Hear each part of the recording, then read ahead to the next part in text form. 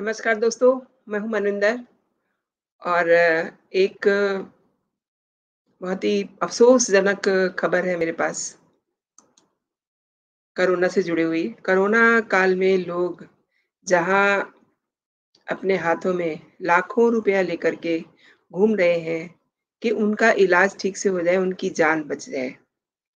वहीं कुछ ऐसे भी लोग हैं जो लोगों की जान लेने पे तुले हुए हैं और पैसा कमा रहे हैं।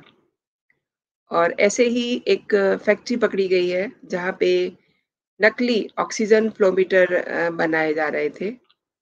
और इससे भी ज़्यादा डर की बात यह है कि 400 लोगों को ये ये लोग नकली ऑक्सीजन फ्लोमीटर जो है वो बेच चुके हैं। मैं आपको बता दूँ कि फर्जी ऑक्सीजन फ्लोमीटर मरीज़ों की ज़िंदगी के लिए बेहद खतरनाक हो सकता है, क्योंकि फ्लोमीटर से ही पता चलता है कि मरीज़ का ऑक्सीजन लेवल कितना है। और सिलेंडर से जब ऑक्सीजन की सप्लाई की जाती है, तो उसे कितनी मात्रा में ज़रूरत है? और अगर ऐसे में नकली ऑक्सीजन फ्लोमीटर हो, तो आप समझ सकते हैं कि अ, कितने मरीज़ों की जान जा सकती है। और न जाने कितने मरीज़ों की जान गई भी होगी। मैं आपको अ, पूरी कहानी बताती हूँ। कि किस तरीके से पुलिस ने इस पूरी टोली को पकड़ा है।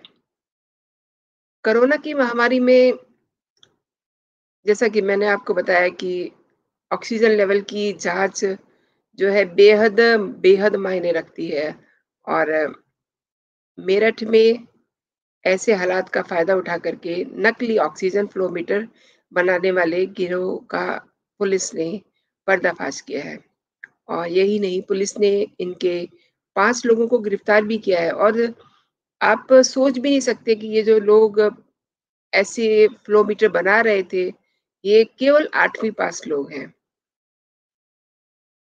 ये पूरा काम जो है लिसाड़ी गेट के एक मकान में हो रहा था और सर्विलांस की एक टीम ने इसको अंजाम दिया।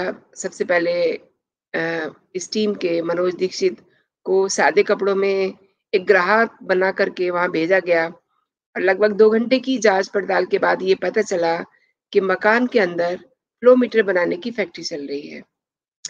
और इस गिरोह का सरगना इमरान है, जो बुनकर नगर थाना के लिसाड़ी गेट का रहने वाला है।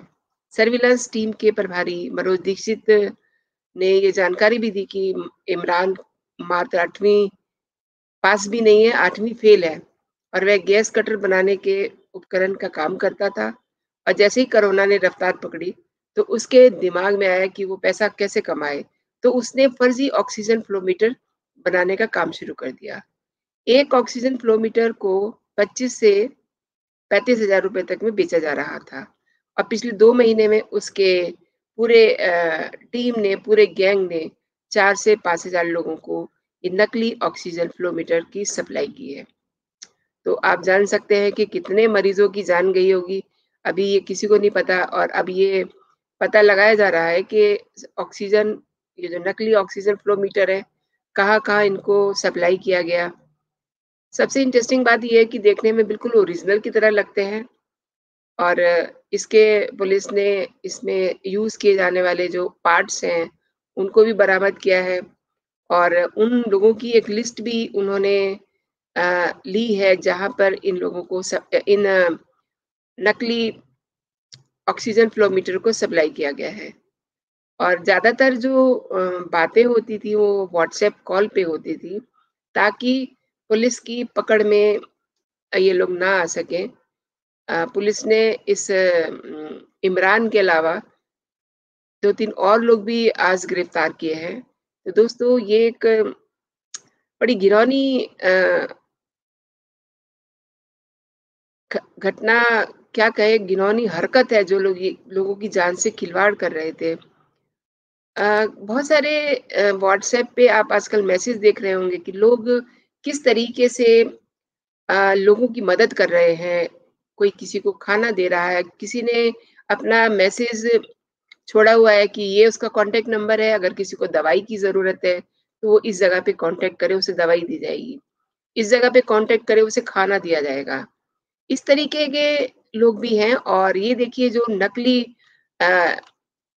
ऑक्सीजन फ्लोमीटर बना रहे हैं, सीधे-सीधे न जाने कितने हज़ारों लोगों की जान से इन लोगों ने खिलवाड़ कर दिया है। ऐसे लोगों को अ, अब क्या सज़ा होगी ये तो वक़्त ही बताएगा लेकिन पुलिस की गिरफ्त में आ गए हैं। जो भी कार्रवाई होगी वो मैं आपके साथ शेयर करूँगी अपडेट दूँगी आपको। आप कोरोना काल का भी प्रोटोकॉल फ़ॉलो करें। ज़रूरी हो तभी घर से बाहर निकले और बेवज़ह बिल्कुल भी बाहर ना निकले अपना ख़्याल रखें, अपने परिवार का ख़्याल रखें।